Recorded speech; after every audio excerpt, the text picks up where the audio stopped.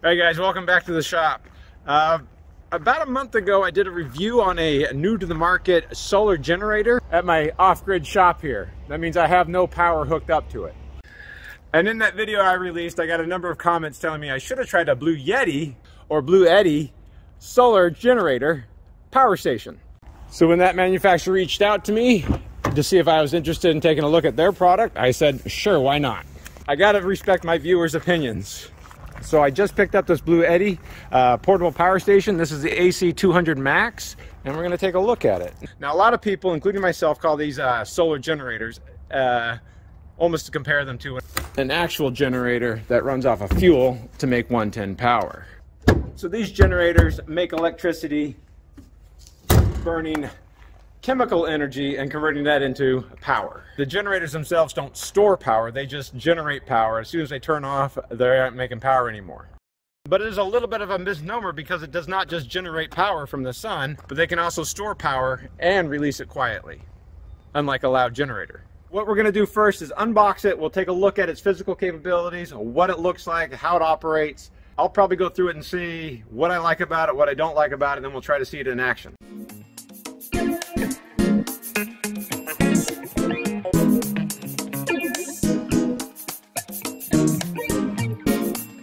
Now what we won't really probably do is compare this to uh, other units out there because I am not much of a numbers man and I don't have the patience to run continuous tests between all different units at all the time. And because they are an all-in-one power station, I think they really are the future of off-grid living, tiny homes, cabins, uh, van life, uh, even other small RV conversions.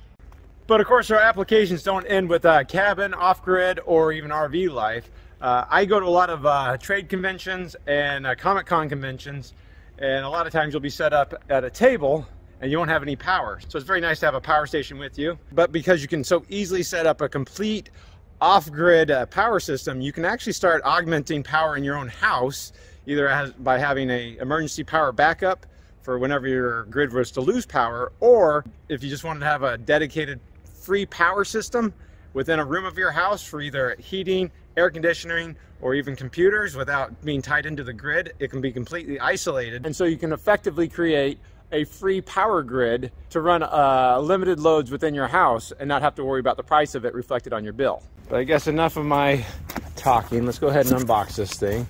So right here we have a bag. I assume that's going to be uh, some cords. And then this is a little bit disturbing. I thought it was going to be all in one, but this is... Alright, looks like you hook up 110 power to this. So we'll see how that works. So it's not completely all in one, self-contained. We'll get the owner's manual. I will say it does look like it was boxed very well. That's good to hear. And uh, let's go ahead and get this thing open. Now, the first thing we want to know is it's called a portable power station, but how portable is it? That is to say, how heavy is it?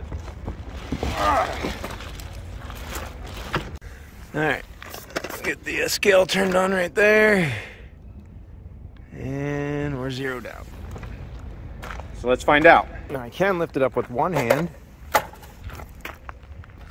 And let's see, it says 27.9 kilograms. Let's choose to, uh, all right, 62 pounds basically. So not incredibly light, a little bit heavier than a bag of cement. But because it does have the two handles in there, it is fairly portable. I will say there's no wheels underneath, and I can carry it with one hand. And that's my weak left hand, so it's not too bad. But the overall construction does look pretty good. It doesn't have hard corners on it. See underneath, there's uh, some anti-skid, anti-marring feet on it. Okay, so overall, pretty solid build. Almost looks like one of those uh, contractors' radios when uh, houses are being built. Which is another good application of uh, these off-grid power systems. Let me just get a tape measure out right here. It's about 15 inches tall, about 16 inches wide, and 10 inches deep. So not a perfect, so not a perfect cube, but a pretty good form factor. Now the first thing I'm noticing is that it has uh, wireless charging for phones on the top, which I didn't expect. That's a pretty nice feature because you're gonna put stuff on the top of this thing anyways, right? So we just go ahead and do wireless phone charging up there and there's spots for two of them. So that's a pretty neat feature to already have built into it. So I haven't read the instructions yet, but if we were to look at the side of this, that's obviously the power button. It looks like we have 110 output here. So those are 120 volt. We have four of them. A 30 amp RV outlet, but that's probably not rated for 30 amp. Yeah, 2200 watts. So that's gonna be about 18 amps total, maybe 20 amps whereas these are rated at 2000 watts so that's about 16 amps i don't know what peak is i don't know what surge is going to be on this i haven't read any of that there's two usb a 3 amp outlets two usb a 18 watt outlets weird this one's in wattage that one's in amperage yeah, whatever uh, usb-c they're calling that 100 watts uh, I'm thinking this is likely 12 volt output within a 12 volt cigarette outlet right here rated at 10 amps and a 12 volt DC at 30 amp. I think I'm gonna be happy with that. I assume this is all outputs right here. And then on the side here we have a cooling fan. This one Oh yeah, that's right. So this can be, uh, you can add two more battery modules to this. Now I didn't get the modules, but but uh, the battery that's built into this is 2048 watt hours. I think it's uh, actually a lithium iron phosphate chemistry.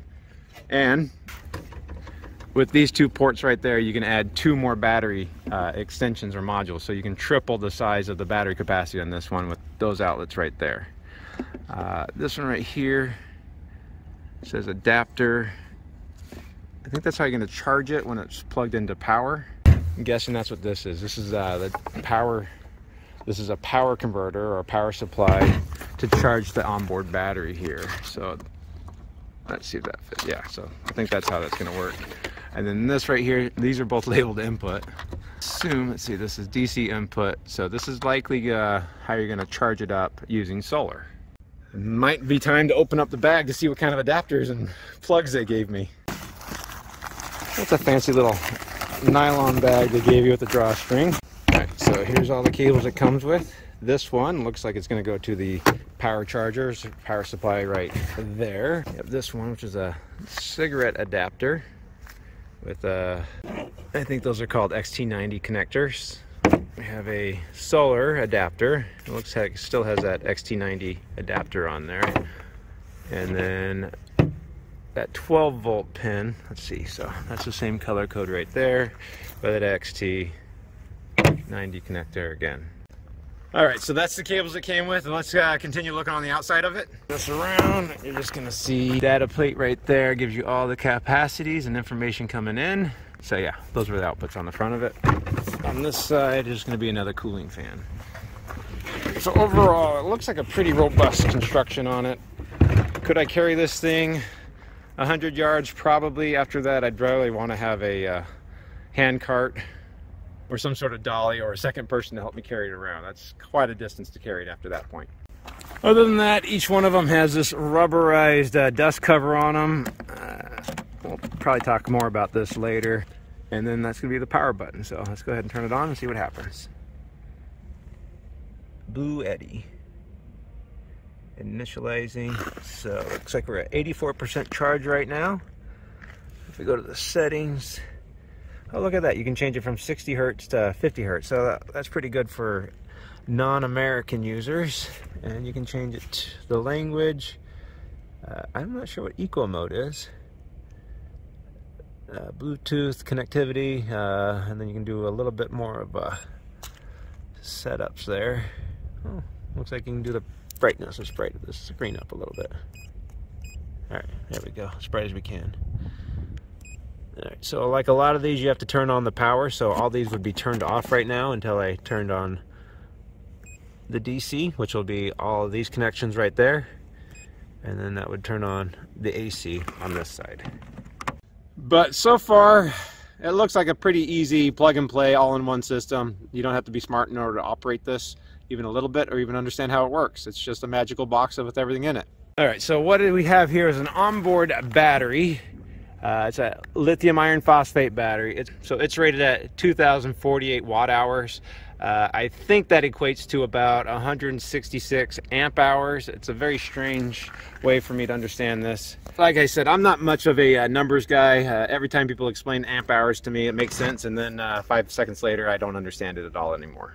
But I think that means it could run one amp for 166 hours, uh, two amps for 83 hours, and so on. Though I'm sure, like most things, it's not a complete linear relationship and it starts to uh, have a curve to some sort of graph somewhere because I'm not smart enough to understand that.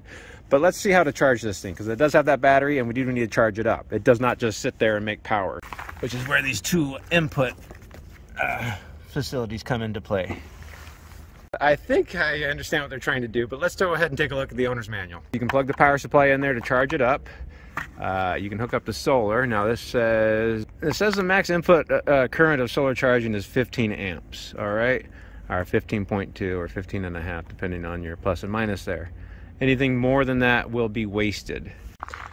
Now, um, believe me when I say numbers do not excite me whatsoever. If you really want to understand any of the charge capacities or any of the real numbers, uh, if you want to understand these solar generators substantially on a technical level, I would probably recommend you check Will Prowse. He does he explains all this stuff much better than I will ever help to do. So I'm not completely sure how big of an array you can hook up to this thing. But for most people, they're going to have probably a 100 or 150 watt panel, maybe a 200 watt panel at the most in a more portable setting.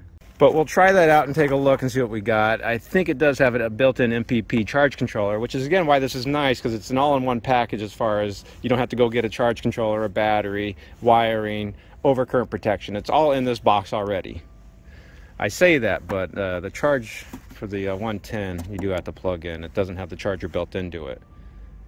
We'll touch on that again later. It's a neat little feature too, because now you can uh, do a reverse charge to it, so you can actually hook it up to a cigarette lighter these two adapters right here plug in that and then plug in here and you can charge it up from a vehicle. So it's really perfect for van life because uh, you don't have to run wires to it. You could just plug it into the cigarette lighter in a van or a car. They tout that you can hook up a generator to it. I mean is that really impressive? Because generators providing 110 power just like the power company is over here. Looks like you can also connect it to a lead acid battery, but that would be about the most inefficient way I could ever imagine of charging up a lithium battery is with a lead acid battery. 110, solar, car, or lead acid. So I guess they've given you a lot of different options to be able to charge this thing. And this last page will show you where you can get different uh, battery modules to plug in to extend or triple to uh, double or even triple the uh, uh capacity of uh, the power station right there. And then the last thing I was able to try was that they do have an app for this. But I did download it right here, so you hook it up to uh, Bluetooth. Let me go back. All right, so we are connected. So what I did like about this app, it was very intuitive and very easy to download. You did not have to register with uh, the manufacturer in order to actually use the app at all. But right here, you're gonna have the exact same features that you would have on the touchscreen right there, but from a remote facility. So I can turn the DC off and the AC off using the app.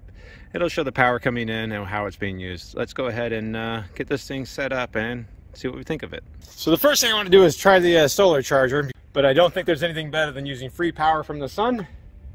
That's quiet too. Two panels set up right here. These are just a, a 335 watt panel and a 325 watt panel. I know it's not best to mix panels like this, but that's where we're at because that's what I have. So this is obviously a very primitive and impromptu uh, array I've put together. Let me see the voltages coming out of this panel right here. Uh, open circuit voltage is 40 volts. 40 volts on this one too. So it's not an ideal situation to mix and match panels like this, but it'll be a good real world test. And I did just look again, so open circuit voltage uh, 10 volts to 145 volts. So we should be fine putting it in series too Let's take this uh, Canon plug right here. That dust cap's already annoying me. Okay, tighten that up. We have the adapter cable right here, and excuse me if I'm unimpressed by the uh, thickness of these wires. I would say that would be the biggest limitation so far. So that's connected. We're gonna go series on it, so let's see. Put those together. Gonna be the two of them put together. So it's going to be MC4 connectors. Kind of can't plug them in wrong because of the way they're set up. Okay, let's see what we got going on here. All right, so we are coming up with uh, 280 watts. Might be easier to see on the phone here. And my big question is, can I use power and create power at the same time? That is to say, can I charge the battery and discharge it at the same time? All right, so I did clean up the panels a little bit more. They were pretty dusty. I got an assortment of different loads we can try out on this thing. And so now we're getting close to 300 watts. So let me just put the simplest load you can put on a system because this is going to take a DC battery power and turn it into 110 power, which is why I really like these things. There, turn the AC on right there. Answer's pretty quick here, so let's turn it on the fan. All right. There's not much of a load on it. But it does say power's coming in and power's coming out. So we are charging as we are using power. Let's put a bigger load on it. So now I have a toaster. We'll plug in the toaster here. All right, now we got 188. Oh, look at that. We're going up. 800 watts. So let's do this and see how fast the battery depletes as we're charging it and using the toaster at the same time. So far, the battery hasn't done much. Let's see if I go to battery pack, see what's happening. So this discharge. These are going to be the other two battery packs I don't have hooked up to it. Man, that's holding pretty good. So I do like to see that you can make power while you're using power. That's important to know, especially on a solar setup. Okay, you can see how red the coils are there. Let's go ahead and try a space heater, right? Because the space heater by itself will probably use enough power to trip the system. So I'll turn it on. That's just going to be the fan. That's not heat. Oh wait, never mind. That is heat. Put on low. So now we're using 1500 kilowatts. I'm only putting uh, 300 back in so that it is going down. The toaster still hasn't popped yet.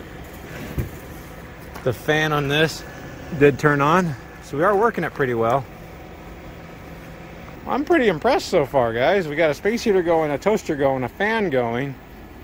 Uh, basically an entire kitchen and heating setup in a tiny home, van, or uh, ooh, we just made toast. So we're back down, and we've only lost 1% of the battery. Let me go ahead and disconnect one of the panels right out here and see if that affects anything at all. So I'm gonna go ahead. I don't know if it's a safe thing to do or not, so I'm gonna go ahead and unplug the solar while I mess with it. And let's see. They're not charging anymore. And battery's going down pretty fast without the uh, solar hooked up to it. Alright, so I disconnected the 325 watt panel and I'll just plug in the 335. Maybe my angle isn't perfect. I do have it propped up a little bit. Not casting too much shade over here. Sun is sitting right about 9 o'clock here right now. Now I can plug this back in. And keep in mind everything's still running over here. Toaster hasn't popped again. All right. Yeah, it, it, was definitely using both those panels. We're, we're down to half the amount of wattage coming out of it. So it does make me wonder if we can hook up another panel. And luckily, I think I still have one more back here, and it's 330 watts, so very similar. Of course, these aren't nearly as portable. You probably want to have portable panels if you're going to do this on the go. All right, the fan and the space heater is still running. We're at 79% on the battery. And I have that one hooked up to that one hooked up to this one, so we're all in series. I did want to check my open circuit voltage here. So I don't want anybody to get upset with me that I'm putting too many volts to it. So we're just at 116 volts. I think it was set up for 140, so we're good. 145.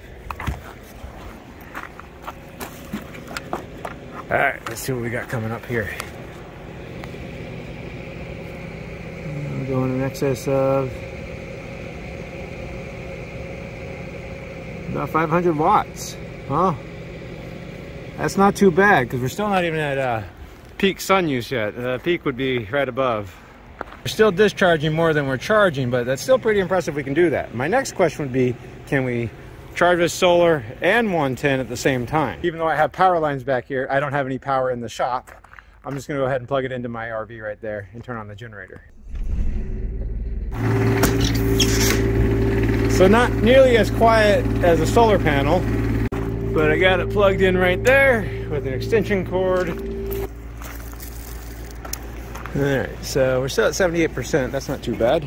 Kind of wish there was a switch to turn this thing on or off. For whatever reason, I don't like plugging things in without having a disconnect. We got a green light. I assume that's something. Let's see. All right, all right. So it can charge from the grid and solar at the same time. So now we should be putting out an excess of uh, what we're using. So if I were to go to the battery pack, let's see what it's saying. It says status standby. I don't know what really that means. Let me run this for a little bit and see if the battery voltage comes up. We still have the fan going and the uh, space heater going. All right, well, I've been letting it run for a little bit here. We're still at 78% and the battery pack still says it's uh, in standby. So I don't think it's trying to charge the battery. We're just having the inverter making power and passing it through and not charging the battery. Which is kind of weird too, because this means this, this 110 power coming in turns it into 58 volts at 8 amps coming out, but that's 58 volts DC. And that DC, instead of going to the battery, is getting turned right back into 110 power uh, to go to the space heater and the outlets out here. So uh, we'll talk more about that later. So if I go ahead and go back here and we turn off the AC output, all right, so that turned off fan turned off, our load turned off. Got a battery pack. Now it is charging. Okay. It looks like it, honestly, it's charging the same from, uh, almost the same from solar as from the grid. So that's not too bad. That means uh, if you were able to find somewhere where you had your solar panels in full sun and only a 15 amp outlet, you can charge this thing pretty well and pretty fast using both uh, power sources Of course, the downside being that uh, you're not charging the battery if you're using loads at the same time. But it's only been about three minutes and we're already up to 79%. So it is charging pretty fast. And, uh, and our wattage is going up as the uh, sun starts moving a little bit across the sky. Again, very, very crude setup on my panels there. Let's try one more appliance and see how it handles an induction stove top here. All right, this is the hot plate. Let's pour some water into it. All right, I think this induction capable pot here not, I know my pan is. Let's go ahead. 275, we'll do 300. Let's start. So let's see, our wattage is coming up. Oh, look at that, we're already starting to boil a little bit. Let's kick it up to high. Ooh, I can see the wire, water already changing and we're using 1300 watts. Alright. Our power coming in from solar's going up too. Go back to power pack. It's discharging the battery. So it's making up some differences by using the battery on board so it is going down now too. So that's pretty interesting. So it's no longer in standby mode, it's in uh, discharge mode. So we're using solar uh, 110 coming in and the battery just because we're using so much and we're about boiling here and kind of why, why I'm a big fan of these uh, self-contained power stations right here is uh, I didn't have to make a uh, battery distribution center uh, with a whole bunch of different uh, circuits and wiring. I didn't have to make a 110 system with a whole bunch of breakers coming in and out. I basically have a self-contained house right here and I have an outside kitchen. I'm cooking uh, water on. I could still turn on a space heater. I have a toaster and even a fan that I could turn on right there. So the water is boiling. Maybe I should put some more water in there before I boil it all away. Let's go ahead and try to play with fire here. I'll turn the toaster on. All right, we're maxed out on these outlets right here at 2,000 watts. And it still hasn't kicked yet. If I wanted to, I could get an adapter to go to the 30 amp plug there, which isn't really 30 amp, it is 2200 watts. So 30 amp would be about 3600 uh, watts. But we're still cooking here. Still got the toaster going. Still got that fan going.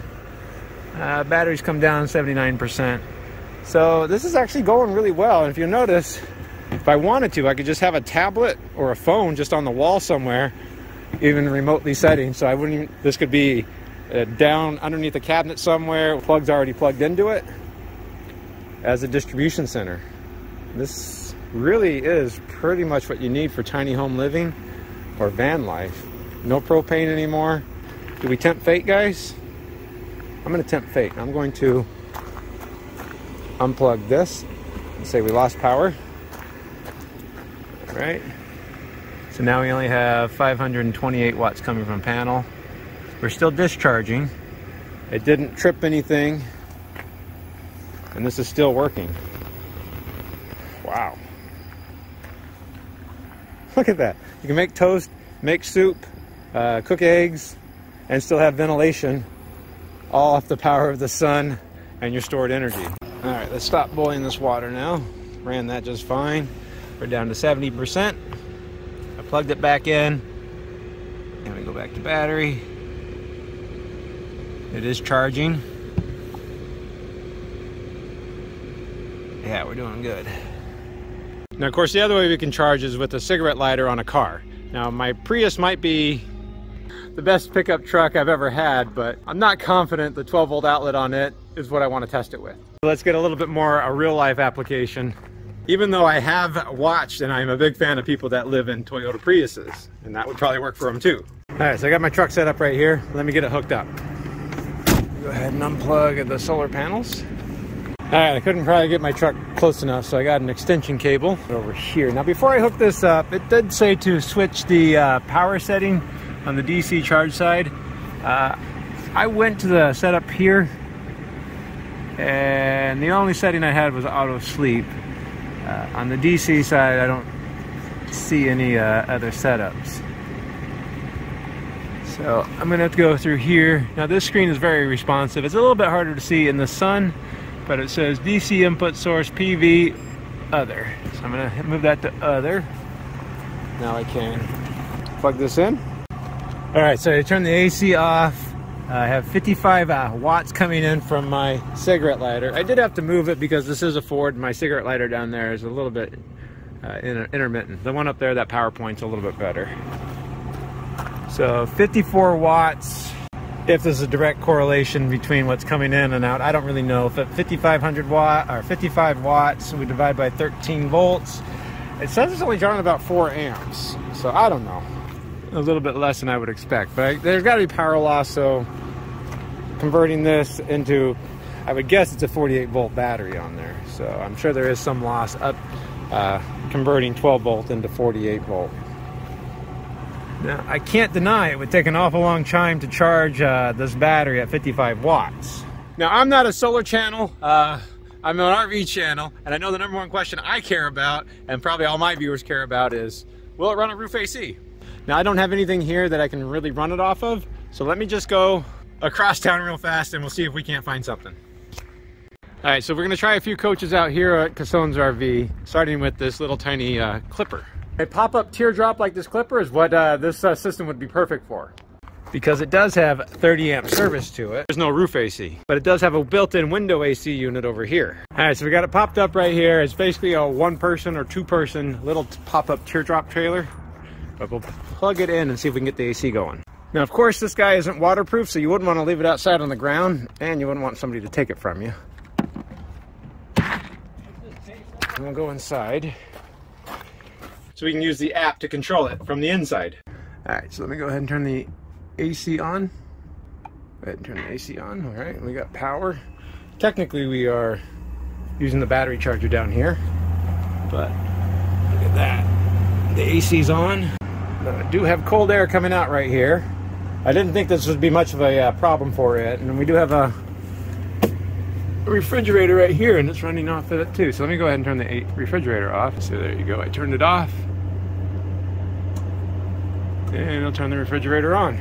So I have a refrigerator and AC going, running strictly off AC 200 max from Bluetti. Uh, it's pretty cool. All right, so it's probably been running for about five minutes now. Let's see, I got here. So we have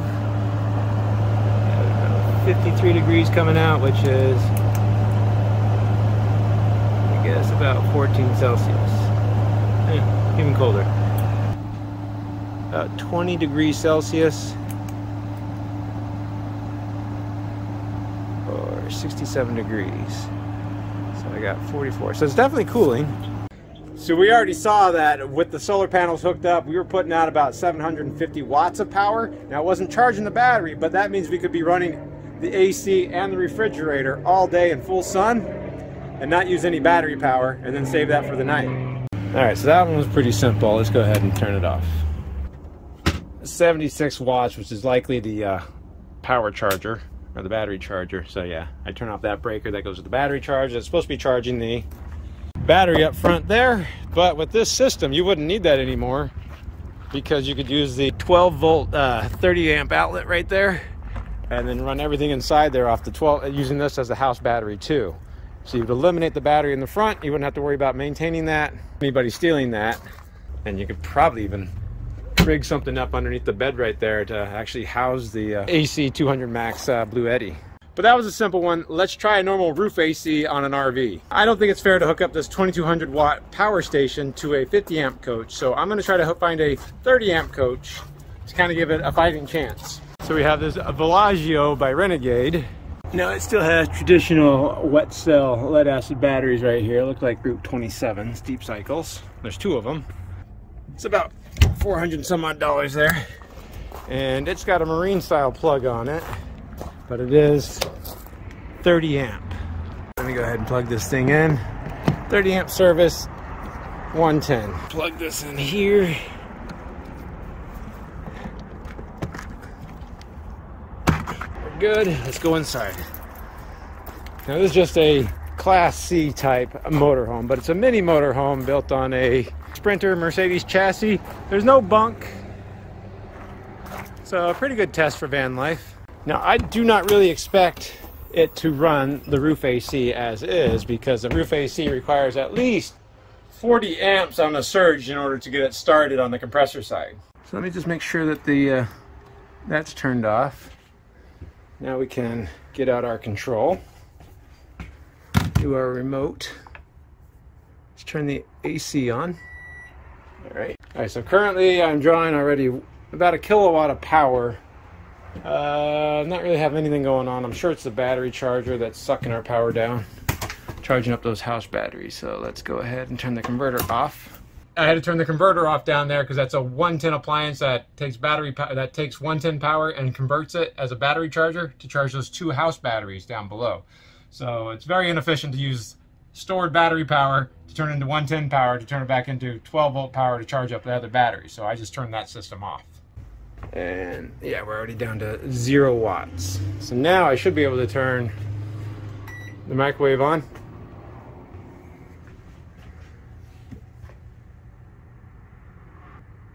Yeah, we're doing good. So the microwave working just fine off the Bluetti power station.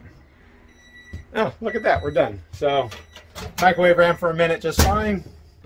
And we did use about 2% of the battery to, to do that. Now it's uh, bright as can be outside, so I've had solar hooked up.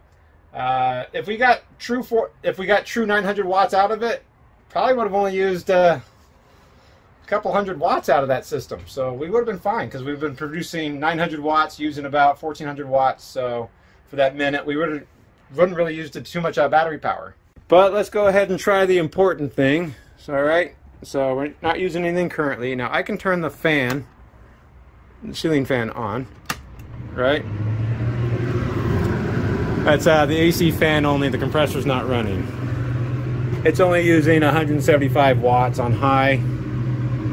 If I move it to low, we do drop down to uh, 100 watts. But this is the I imagine is going to happen. I'm going to turn on the compressor, and we're going to lose power because it's going to go over current, and it's going to trip the, uh, the AC output. So let me go ahead and uh, set it to uh, 69 degrees. I'm gonna have a fighting chance with the fan already running so it doesn't have to start up two things at once. But go ahead and turn that on. So cool mode. And look at that, it turned off. As I suspected, it could not handle the surge load of the compressor. And it turned off the uh, AC output.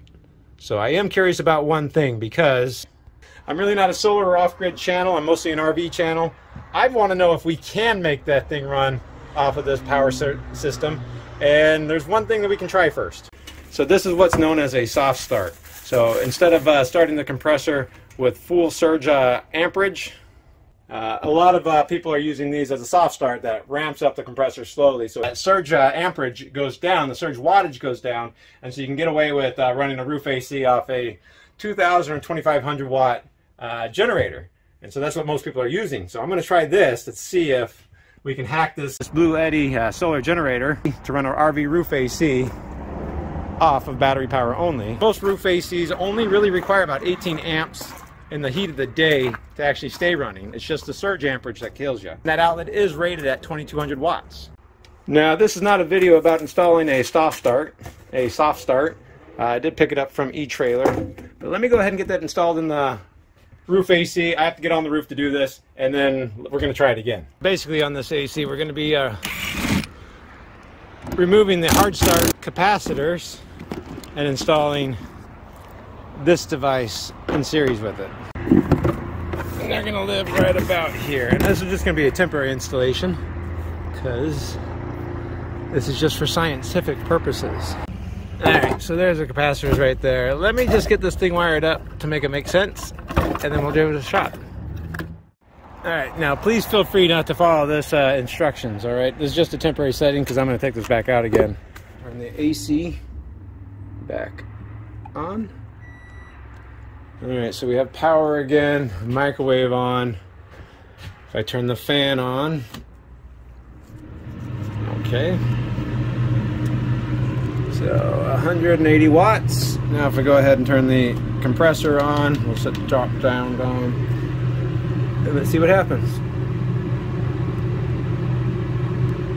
I just heard it click.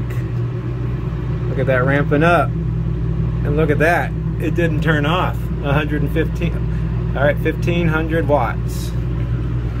I can tell you, this is nice and cold. Let's go on the outside and see what the compressor says. Green light is on. I can hear the compressor running. I know, I'm not gonna leave the wires like that. I'm taking it back out. Still, we dropped down to 1400 watts. So, 80 degrees going in. 58. I saw 58 for a second. I'm calling that success. So yes, you can use the uh, AC200 Max from Bluetti with the soft start on a roof AC on an RV and it'll work. I know a lot of people will say, well, we're using 1500 watts, so it won't last forever. And we have used quite a bit of power. And if we had solar coming in, let's say we had 900 watts, we'd still be using about 400 watts of uh, the battery coming out of it. I know it's not ideal, it's just very interesting that we could do that. And I wonder if we had uh, two more uh, battery modules, if we'd uh, honestly be able to run it for an entire day. So that's pretty interesting news to know. Now I just have to take everything apart. I'll meet you back at the shop. All right, so let's get down to the nitty gritty. What do I like about the AC200 Max uh, power station from Blue Yeti? or Bluetti. I'm sorry about that. It's actually built very well. It's fairly quiet. It has good access and a lot of good outputs on it. I do like that you can charge with both solar and 110 or grid power at the same time or even a cigarette lighter on a car. It does make it very easy to hook up to an RV with the 110 or with the 30 amp outlet right there and having the bonus of uh, wireless charging for your phone on top. Very nice. Having a pretty powerful MPP charge controller built in has been very impressive to me too. Sun's moved a little bit more and now we're putting out almost 700 watts, so that's pretty good. Uh, it's charged up that lithium iron phosphate battery with uh, 248 watt hours of capacity on it, which I'm guessing is about 166 amp hours on it. And I'm also guessing it's about 48 volt system. And I do like how uh, they made a one cable multi-purpose, so you can use this to plug into the cigarette lighter and vice versa.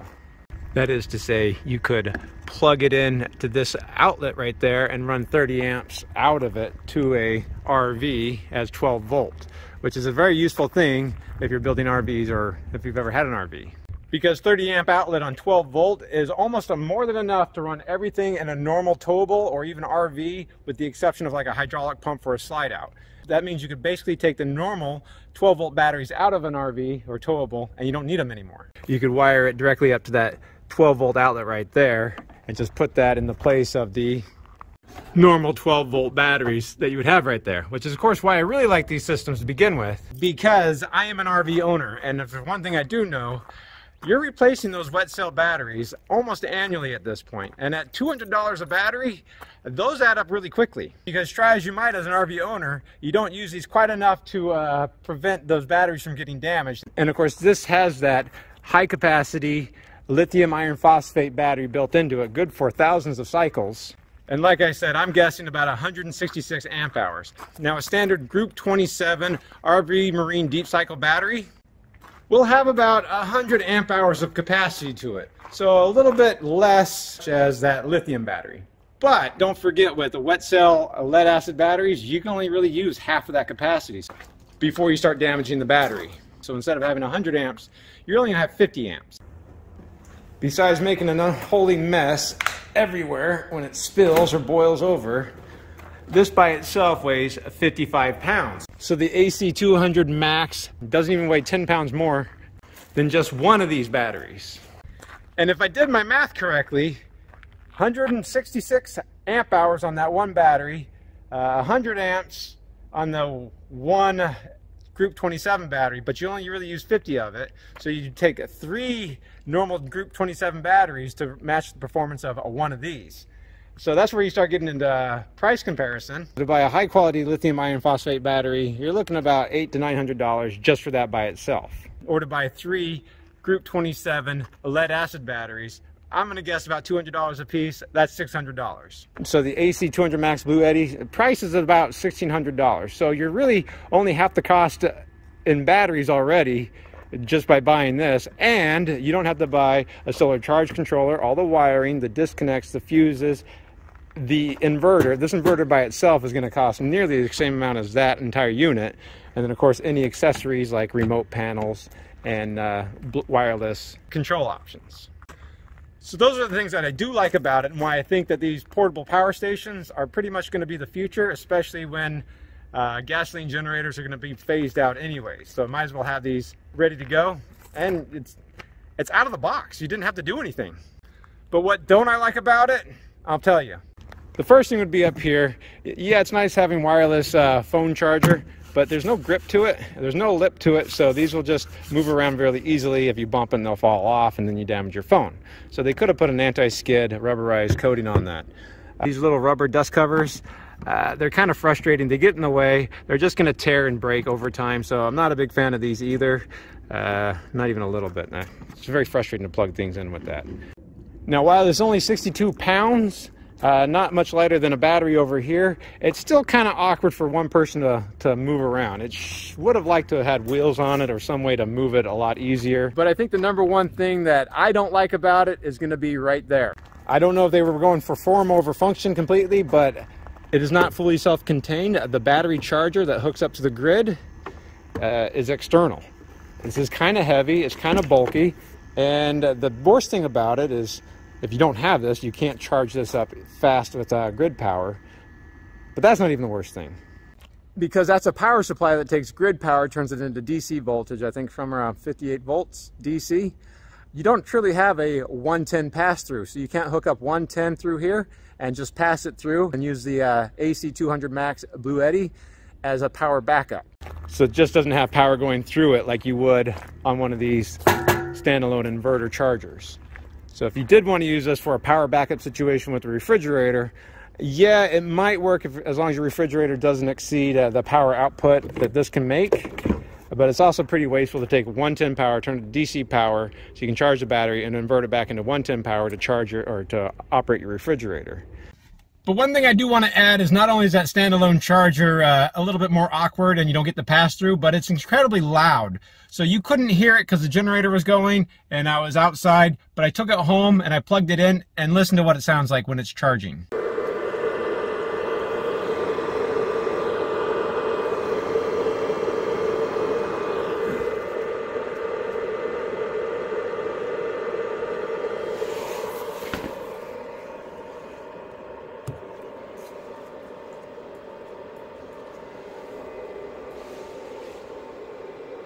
So yeah, that could be quite loud if you're in a small little area. You're gonna have to listen to that. Now the only other thing I didn't like about it, you have a 30 amp outlet right there and that just exists so that you can hook up an RV to it easily without making any sort of adapter.